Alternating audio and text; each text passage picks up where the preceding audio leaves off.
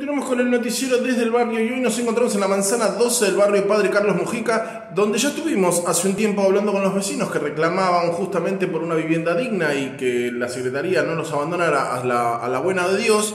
Eh, y un tiempo después de que nosotros estuvimos ahí, la Secretaría se hizo presente y según dice la Secretaría, lo estamos viendo con el cartel, eh, el problema quedó totalmente solucionado. Así que estaremos acercándonos ahora para hablar con los vecinos de la manzana 12, que supuestamente no están más ahí, pero estuvieron hablando con nosotros hoy ahí y los vemos en sus casas viviendo ahí, sin agua y en las mismas peores condiciones de vida que tenían la última vez que estuvimos ahí con ellos.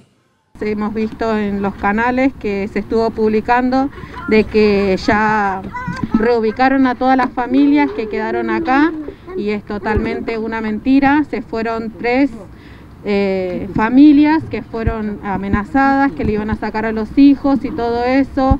Ellos primero no habían dicho que no iban a censar, luego no iban a llevar una transitoria o un alquiler, pero primero no iban a censar y sin embargo sacaron a todas las familias que estaban viviendo acá, las llevaron a alquiler y le dieron un papel que en donde decía que ellos se podían acercar en los principios de día de septiembre donde habían dicho que se iba a abrir la ventanilla del censo y no se abrió Todavía estamos esperando eso, que a mí me dijeron que no tienen fecha exacta, pero sí que a, eh, fin de octubre.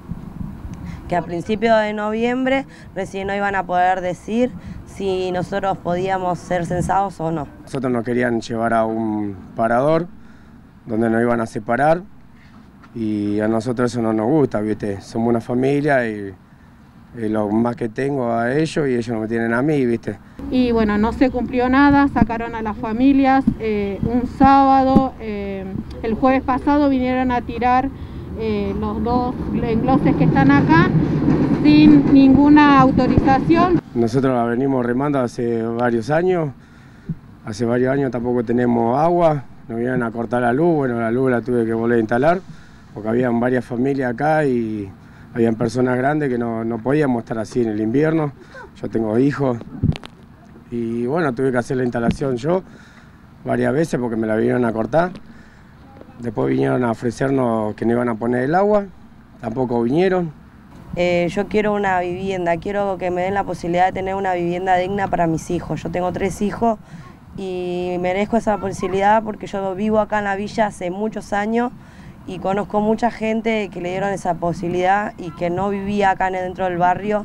Están trayendo mucha gente de otro lado y nos tendrían que dar posibilidad a la gente que vive acá dentro del barrio. Nos vienen diciendo de que, de que si nos quedábamos en esta zona no, no nos iban a sentar porque nosotros no pertenecemos a la villa, porque eso es otro, otro sector ya.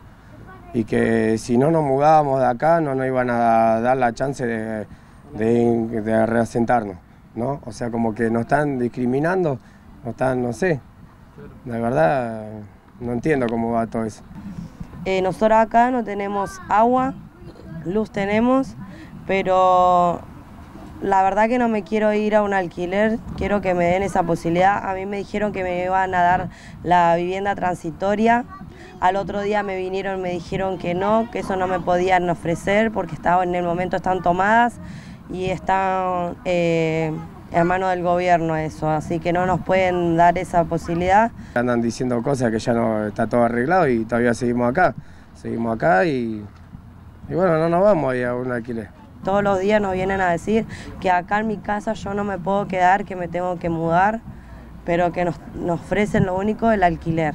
Sí, la verdad que totalmente es un abandono de personas lo que están haciendo, ya van varias veces que le estamos reclamando, nos dan reuniones, nos prometen cosas, pero hasta ahora nunca nada. Sé yo, ¿qué voy a creer si me, me dicen en la cara un día una cosa y al otro día me dicen otra? ¿Cómo ellos quieren que uno crea, que confíe, si ellos mismos nos mienten en la cara?